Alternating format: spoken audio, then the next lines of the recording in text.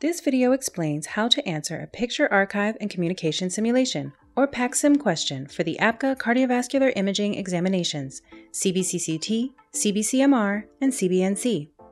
Each question presents a brief case description or clinical history and a collection of images.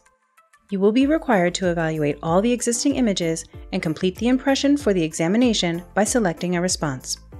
The view is divided into four areas the exhibit collection, the case, the stem, and the response options.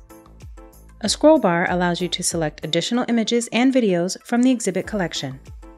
As you select a thumbnail image from the exhibit collection, the selected image will appear over the case and the stem. Images can be resized by using the resize arrow on the lower right side of the image. Most images can be resized and moved around the screen, so the image and the question content can be seen at the same time. You must click on the X in the upper right hand corner to close the exhibit.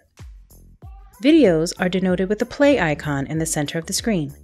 Once selected, play and pause will appear at the bottom of the video. All videos automatically loop and replay.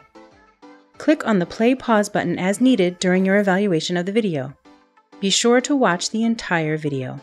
Click X to exit. The case can detail the patient age, history, symptoms, and prior studies.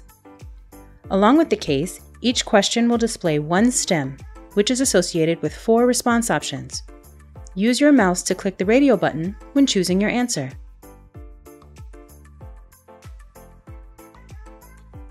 The exam controls are Next and Previous. Next allows you to submit your answer and move to the next question. You have watched how to answer a PACSIM question for APCA's cardiovascular imaging examinations. For more information, go to www.apca.org.